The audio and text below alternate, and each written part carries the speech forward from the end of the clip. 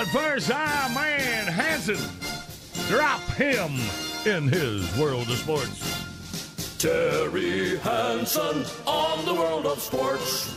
Here's a guy you'd never want to see in shorts. He's got scoops on who's got a contract, who's a good dude, and who might be on crack. Big Show presents Sports Briefs. Rock. Lay on us, Hanson. Well, congratulations to the U.S. women's soccer team for their victory in the World Cup. That was a stunning result over Japan, five to two. People have asked me, is this a game changer for soccer in America? I wish I could say yes, but I don't think so.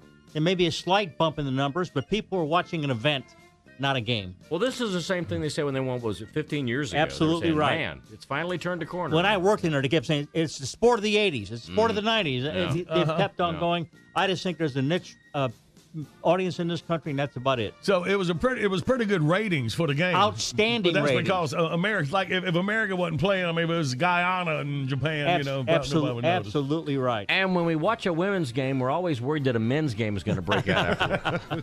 You know, last week we talked to Jerry Caldwell, the GM of the Bristol Motor Speedway. We talked about the football game they're going to have there, September 10th, 2016, Tennessee versus Virginia Tech. They have to transition the Speedway to a football game, uh, August the 20th to September 16th. That's not a lot of time to do that. I researched some of the facts in getting this done. This will be the largest venue to ever host a college football game. It's so big there that no one could fit inside of the Bristol Motor Speedway.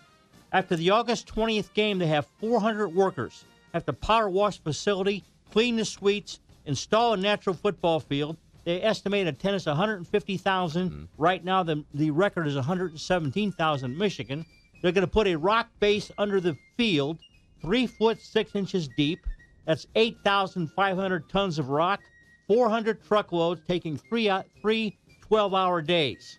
Also, they have to remove all NASCAR signage because of the NCAA. They're going to remove the big screen in the infield, install install other screens, and then install new seating close closer to the field.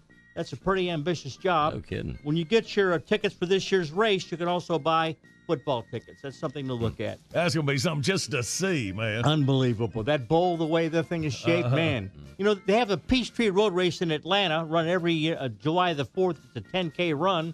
This year, runner Ben Payne was about to win the race when he slowed down to pose, and he lost by nine one hundredths of a second to a British Olympian.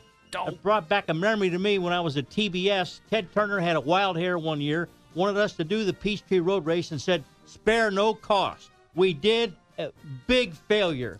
Lost sixty thousand dollars and nobody watched it.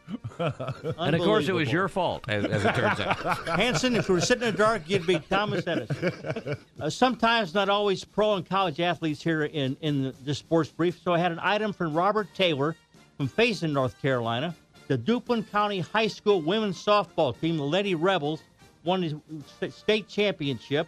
A big celebration on the team's return. They had an escort with fire trucks and a sheriff's car, fireworks, a parade, but they took time to huddle for prayer with Le- Reverend Milford Bounds. Coach Ricky Edwards is a very humble man. He was nowhere to be found because he said, This is the girls' night.